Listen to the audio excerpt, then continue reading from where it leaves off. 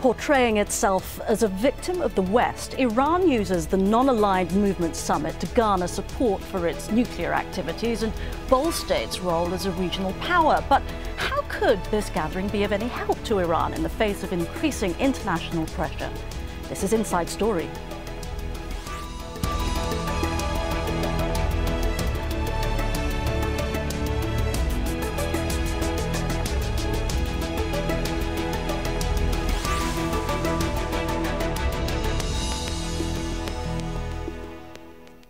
Hello and welcome to the programme. I'm Veronica Pedrosa. So, 120 nations from the non aligned movement are meeting in Tehran for a two day summit. On the agenda, the crisis in Syria, human rights, and nuclear disarmament. Iran hopes this high profile event will prove that attempts by the West to punish it economically for its disputed nuclear program have failed. But there's already been discord over Syria when Egyptian President Mohamed Morsi called for, quote, solidarity with struggle against what he called Bashar Assad's oppressive regime. Tehran's, of course, a key backer of the Syrian government, and Morsi's speech prompted the Syrian delegation to walk out in protest. Egyptian President Mohamed Morsi handed over the chairmanship of the non aligned movement to Iran and with it ignited a new controversy over Syria. We express our solidarity with the struggle of the Syrian people against an oppressive regime that has lost legitimacy. This is not only an ethical duty, but also a political and a strategic necessity. Those words didn't please the Syrian delegation. They left their chairs empty and walked out until after Morsi's speech. The Egyptian president's words will not please the Iranians either. They have a close relationship with the Syrian government. Iran's supreme leader Ayatollah Ali Khamenei also spoke at the meeting, and while he didn't address the issue of Syria directly, he did accuse the UN Security Council of being outmoded and controlled by the US, a clear indication of what he thought was Western powers interfering in Syria's affairs. He went on to reiterate Iran's rights to a peaceful nuclear energy program. I repeat that the Islamic Republic of Iran is not developing capabilities for nuclear weapons, but also will not overlook the rights of its people and their need for access to peaceful nuclear energy. Our motto is nuclear energy for all and nuclear weapons is for none. We stand by both of these mottos. And we know that breaking the biased views that some foreign countries hold about the production of nuclear energy and the underlying fundamentals is to the benefit of all nations.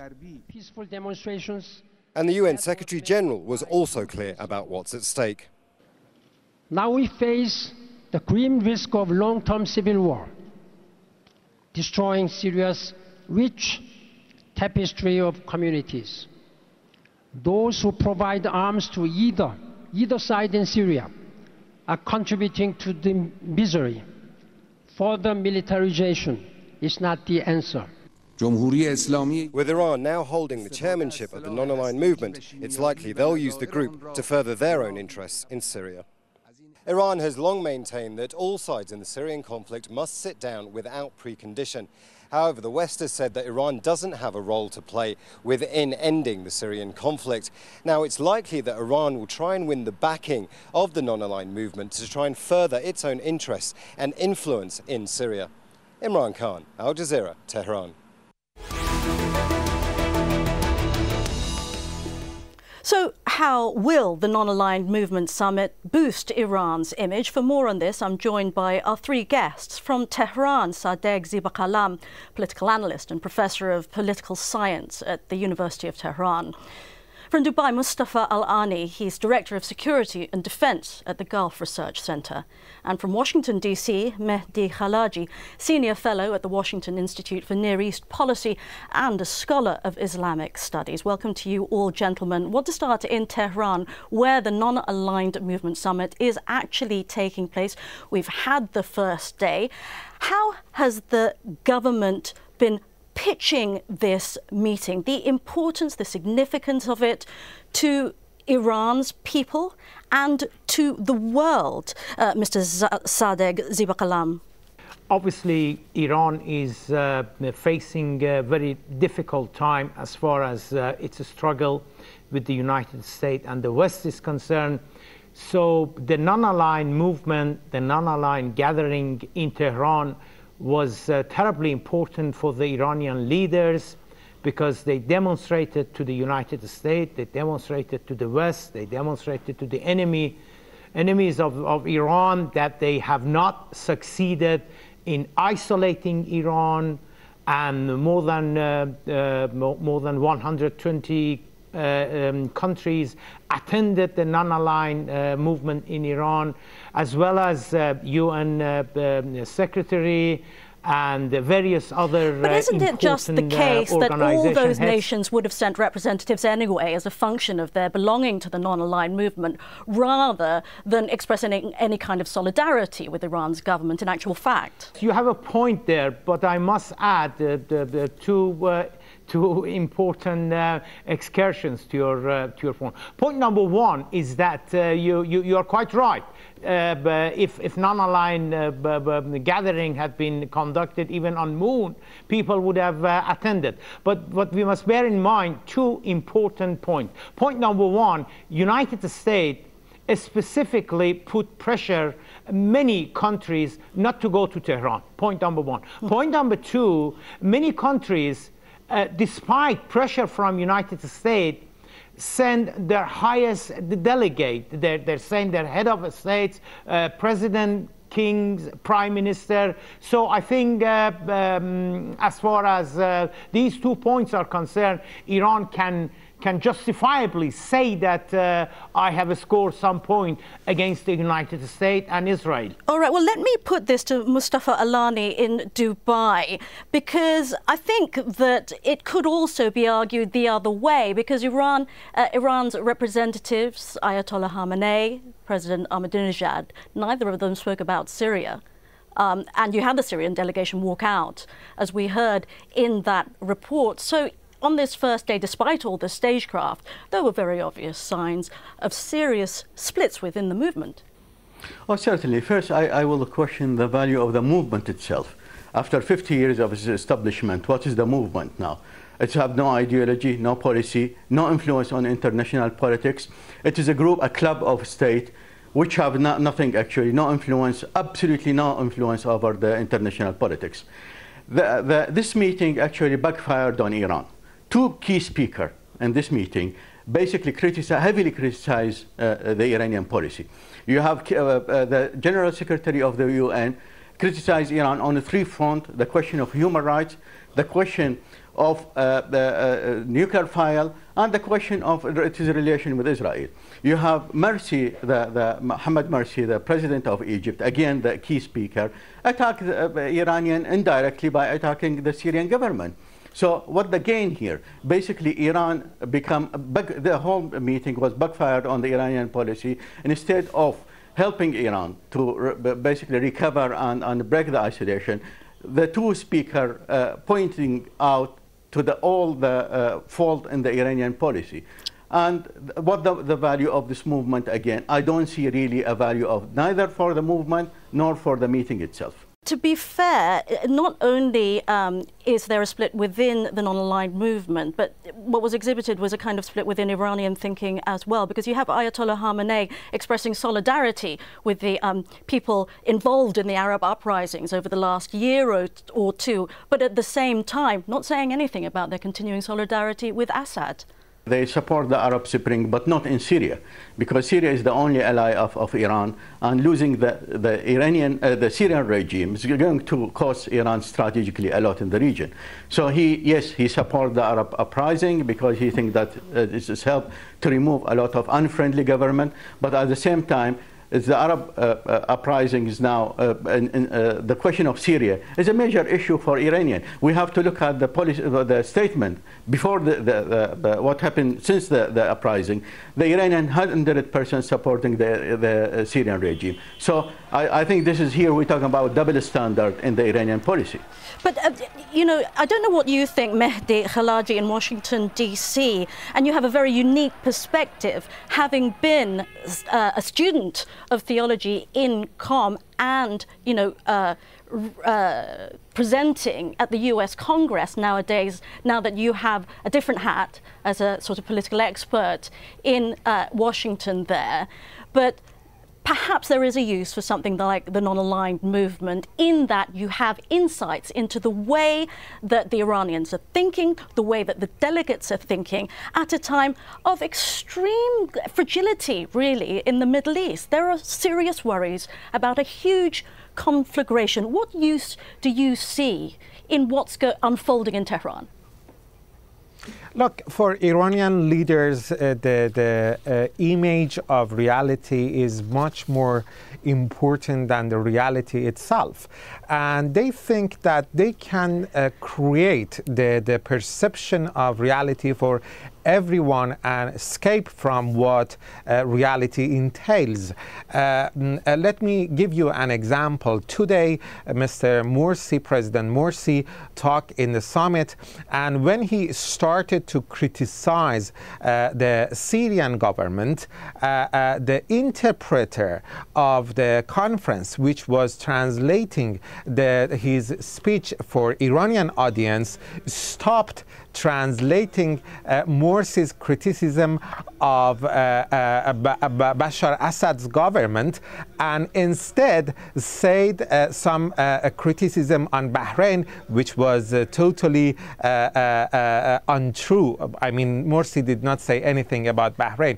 This is how Iranian government think. They think that they can manage the, the perception of the people, the, the public opinion on their policy. And obviously they are wrong. The, as uh, Mr. Alani said, the, the summit itself well, wait a minute. Is it, isn't that just, a, uh, is it really that cynical? Isn't, is there a, a, a sense in which Eh, they simply have a different perspective. You're sitting in Washington, D.C. It might well be the sense in Tehran, uh, looking at the allies that they do have uh, in, in the East, that they think they do have important support. Yes, it may not be in Washington or, on, or in Europe, but look at Europe. It's bankrupt, it's distracted. Look at the U.S. They're going to have a presidential election soon.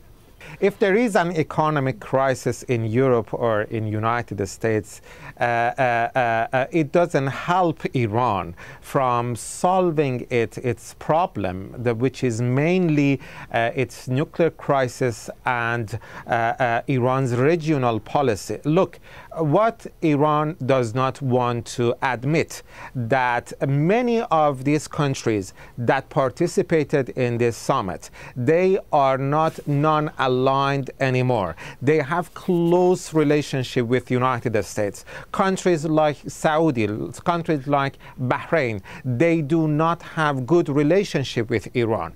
Uh, even uh, Mr. Morsi, as someone who comes from Muslim Brotherhood, they have lots of theological ideological and political differences with Iran. The fact that many countries participated in this, uh, this summit doesn't mean that Iran can make up its political isolation. Iran has to look for real solution for its problem instead of focusing on propaganda and public diplomacy. All right, I'm sure you've got something to say to uh, come back at those comments in Tehran, Mr. Zibakalam? Yes, I've got plenty to say. I'm sure. First of all, I was uh, I was uh, watching um, the, the program uh, very tentatively and uh, very seriously uh, because I knew that I would be uh, responding, I would be invited for interviews such as this one. And um, the interpreter uh, might have here and there uh, said, said something that uh, Morsi didn't say exactly say. But uh, at, on, on no occasion I heard the word Bahrain from um, interpreter. I don't know where Mr. Khalaji got that uh, version that he, he mentioned something on, uh, on Bahrain. Second, we are not talking about uh, Iran's isolation, Iran economic problem, Iran domestic problem, Iran any kind of other problem. We are talking about a fact called non-aligned movement and the fact that it was held in Iran. Obviously, any third world regime would have uh, made propaganda, would have used the, the occasion um, to, to, to show to the world that, well, look, 120 countries have attended, etc., etc. And the Iranian just did that. Now, whether or not uh, non-aligned movement, going back to what uh, my, uh, my brother Mustafa Alani said, whether or not non-aligned movement uh, has a role to play in, in, in, in 21st century or not, uh, that's nothing to do with Iran. Iran has not created non-aligned movement. Iran is only trying to put some spirit, some life into the non-aligned movement. Iran never said that non-aligned movement is this or is that. And uh, obviously, um, the non-aligned movement has been there uh, many, many years before the Islamic Republic was, uh, was created. I want to turn to you in Dubai, Mustafa Alani, because um, I think we need to look closer at this kind of sectarian Cold War stretching from the Gulf countries to uh, Iran, because that is a kind of important subtext to what is going on over there. Um, do you think that this might be an opportunity for further developments um, that might affect impact that competition? Yeah, certainly. I mean, we, we feel here in the region that we are in defensive uh, position because the Iranians are heavily using the sectarian card here in dividing the country and dividing the society. And for understandable reason, we understand it is that the Iranian policy have interest in, in using the sectarian issue and uh, gaining uh, support inside the, the society and, and the country. But I don't think this sort of meeting going to paper over the crux. Uh, our, uh, our assessment of this meeting is no more than a, a wedding party.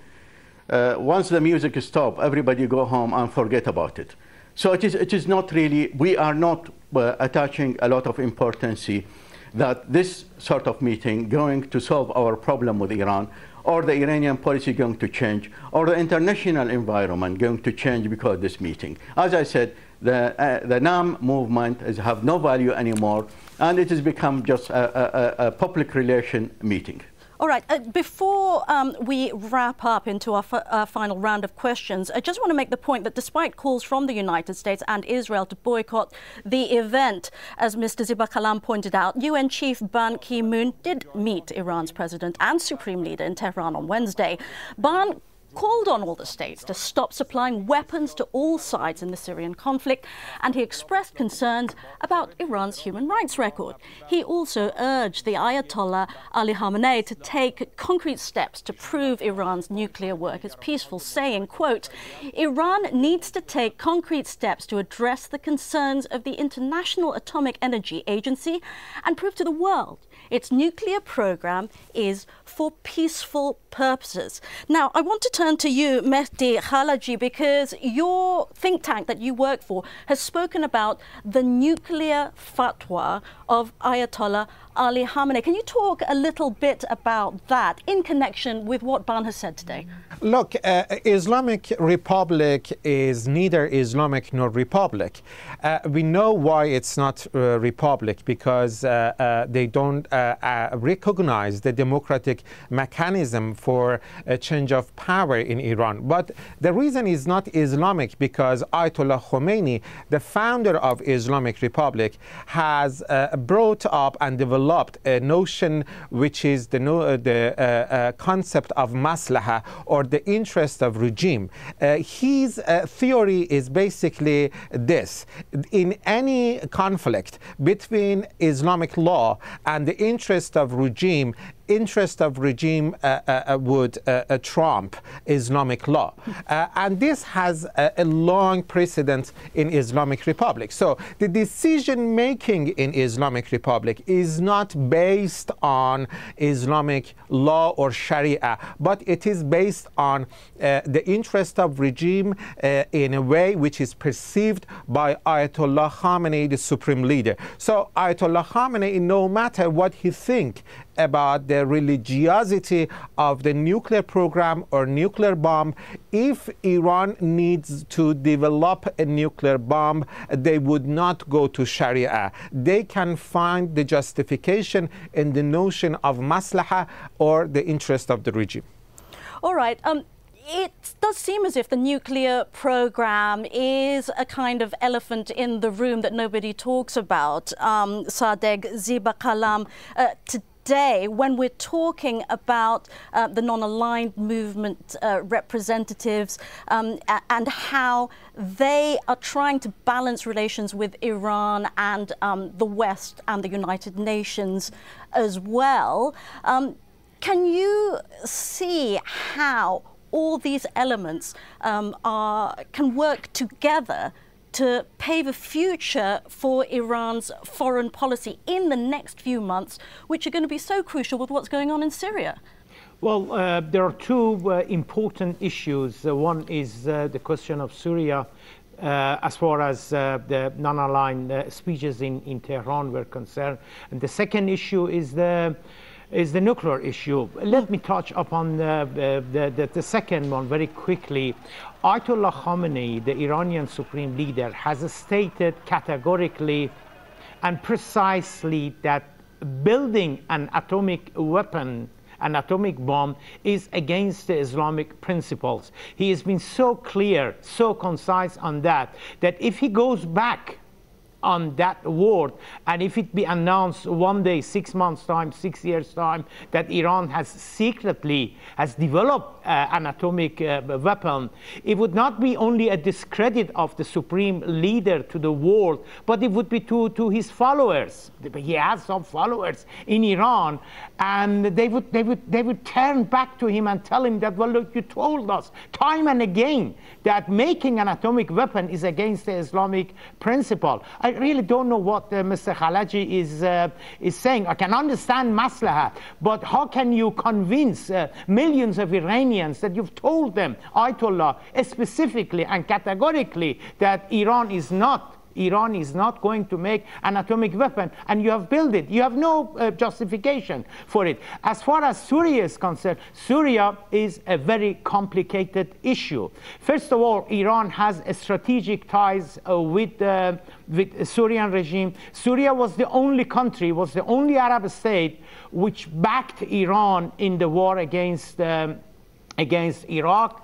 Syria has been the bridge uh, um, through which Iran has been helping uh, Palestinian uh, in, in, in Gaza and West Bank um, and uh, as well as uh, helping and maintaining support for Hezbollah in Lebanon. Obviously, Iran doesn't want to see the collapse of, of, of this regime mm. because Iran, uh, if, if you like, Iran is holding that, that uh, uh, the Syria as a, as a bridge to support right. and to maintain so pressure on Israel so Professor Sadegh Zibakalam, yes. I'm sorry, we're running out of time, and I do want to get uh, a view from the other guests before we go. Mustafa Alani, it does look like there is an existential dilemma for the so-called axis of resistance that uh, Mr. Zibakalam was just talking about, Hezbollah, Syria, um, Iran, uh, in you know, and we have the tension with the West over the nuclear program going on as well, increased talk in Israel, about a possible preemptive strike, so they say. Um, it does look very dangerous. Isn't it important to have meetings like the non-aligned movement so that at least, you know, there is some talk about these issues? What, what the talk now? I mean, uh, there is no real serious pressure on Iran. Uh, apart from the uh, uh speech uh, made by the, the general, uh, the Secretary General of the UN, uh, the, uh, the nuclear issue is not a major issue. Apart from the Egyptian president, the Syrian issue is not an issue. It is basically, this is a, a meeting which is without objective, without policy. It is a social gathering, no more than that. So we are not expecting anything more than uh, anything serious out of this meeting. But the question of the triangular uh, relation between Iran, Hezbollah and Syria. Yes, we're witnessing now a major shift in the, in the strategic balance in the region. The fall of the uh, Syrian regime going to undermine the Iranian power in, in, in the whole region. And this is a welcome uh, development for our for uh, country in the Gulf and possibly in the rest of the Arab world. So we, basically, it is what, what, what we were seeing now. Iran is panicking because after losing Gaddafi, uh, which is uh, uh, another ally of, of, of Iran during Iraq-Iran war, now they are on the verge of losing Syria. So they try to use this right. meeting but basically to uh, but, but I, I think they are, they, there is no success in that. Absolutely not. All right. I'm sorry but we have run out of time. We could actually continue this discussion, this discussion of course for many more minutes but i appreciate the insights that you've given us so far. Thank you very much. In tehran Sadegh Zibakalam, from Dubai, Mustafa Alani, and from Washington, D.C., Mehdi Khalaji. And thank you very much for joining us on this edition of Inside Story. If you want to send us your feedback, do just email your thoughts to us at at aljazeera.net. I'm Veronica Pedrosa. Thanks for watching. Goodbye for now.